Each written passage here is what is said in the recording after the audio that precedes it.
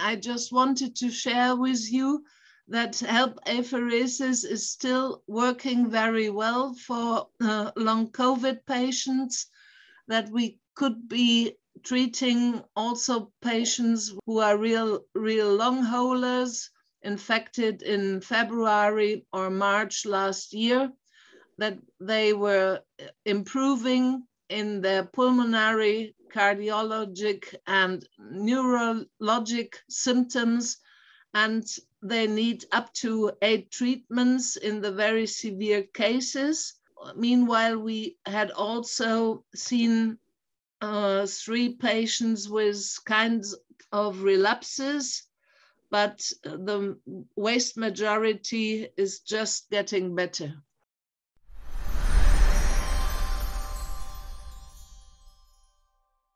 And it's a great pleasure to welcome Dr. Beate Jaeger, who is highly regarded medical doctor in cardiology, and she's leading HELP apheresis therapy in Germany.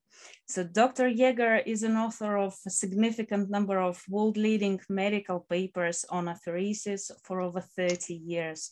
Dr. Jaeger saved many lives throughout her career and is continuing to do so. So Dr. Jaeger, thank you very much for being with us and it's a, such a great honor to have you on our channel.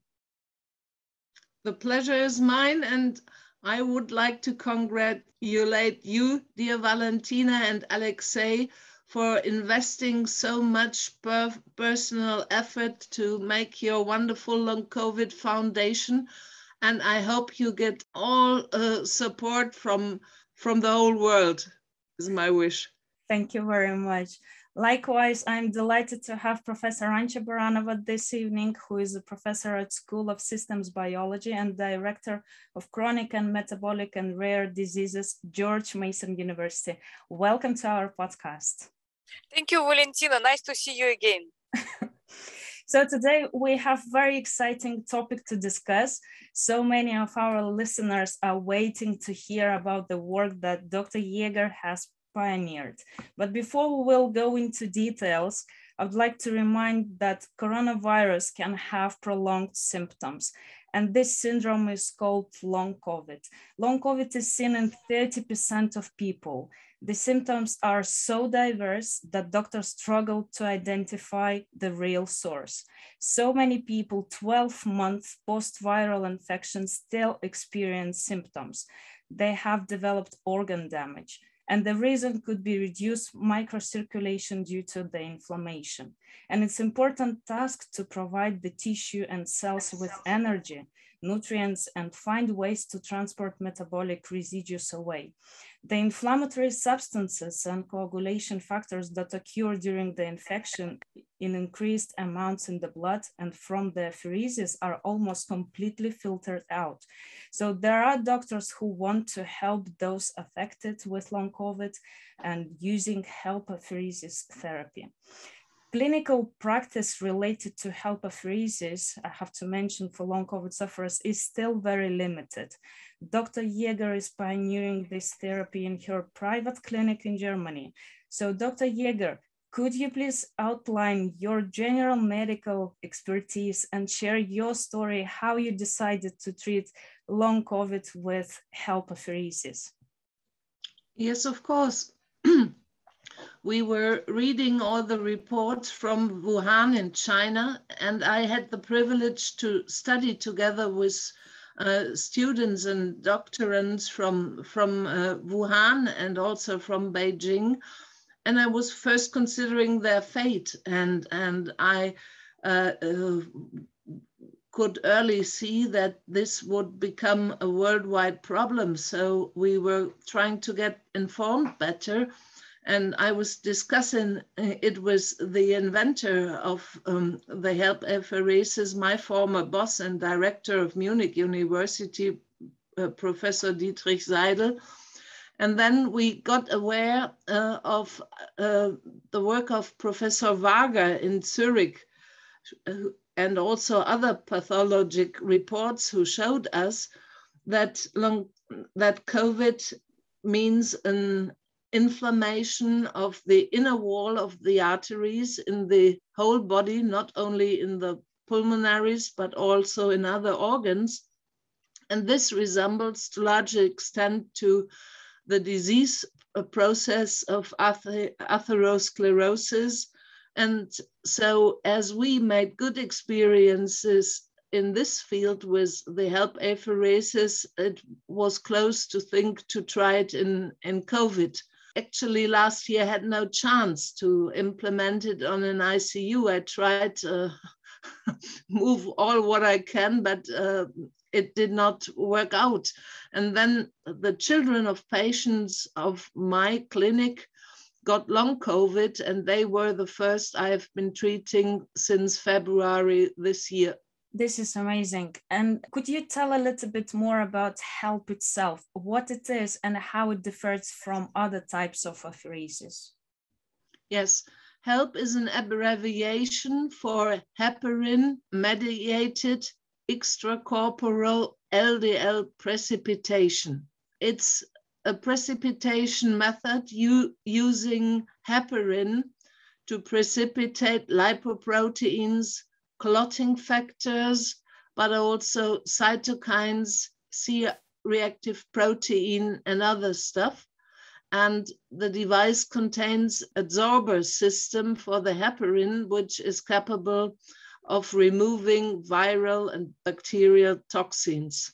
In use for 36 years, safe, many hundred thousand times used. So Ancha, could you give us a little bit more scientific background into HELP apheresis uh, itself? Is there somehow heparin involved into it? What does it do for people that people become healthier or the symptoms improve? Well, I uh, am a scientist. I'm not a physician. Dr. Jaeger here is a physician, so uh, I will let her to correct me in my understanding if I am not exactly correct. But in my understanding, the HELP apheresis is different from typical plasma apheresis in the carrier which is used uh, for absorbance of various active substances. In case of HELP, the major absorbent is heparin. So heparin, which is caged within the apparatus, is used to attract substances which are having natural affinity to the heparin and withdraw them from the blood. Also, heparin, it's a very large polymer. So it has multiple affinities due to its uh, large structure. It has multiple affinities. So we're not expecting that only one particular molecule binds to it or two or 10. It might be dozens and maybe many dozens of various kinds of molecules. And I couldn't say that it is uh, studied in complete spectrum of those molecules. We know about some, and we know about some new ones which showed up just recently. There was a paper published just incidentally recently uh, about ability of uh, the S protein of coronavirus to bind to heparin. So one may say that maybe this heparin-based treatment help us to remove S protein from circulation. But there are other things which would be good if they would be removed along with this protein. I'm not saying that uh, uh, six months uh, after coronavirus infection, patients are still having huge amount of S protein, maybe some residuals, but that's relatively small amounts. But still, there is something wrong with the bodies of those patients and where exactly the activation of something nasty happens, those are blood vessels and endothelial cells.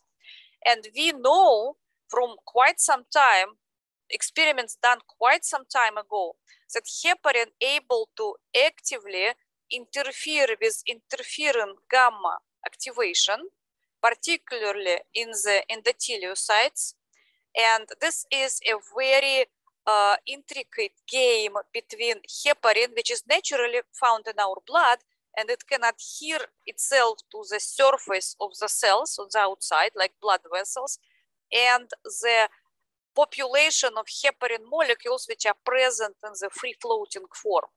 Only in case of HELP apparatus, this free floating form is free floating but caged. So it is remained within the apparatus, right? It was shown in some papers that the presence of this free heparin is helping to suppress interferon gamma activation on the surface of endothelial cells.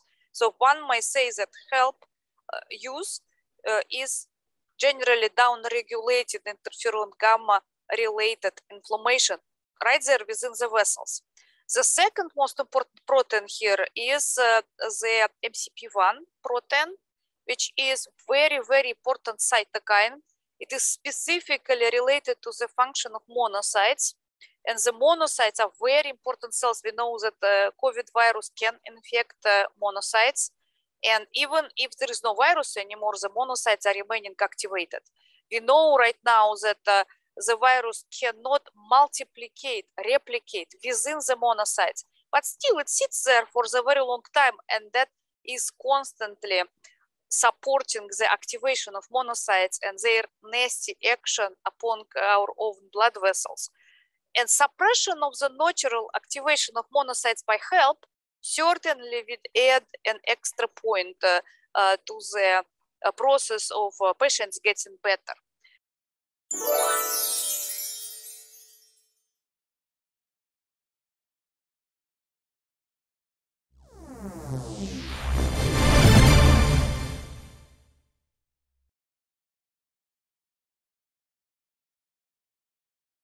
It relates very well, and it's the first uh, symptom to react. Patients us usually say already during their first apheresis treatment, I can breathe much better and deeper.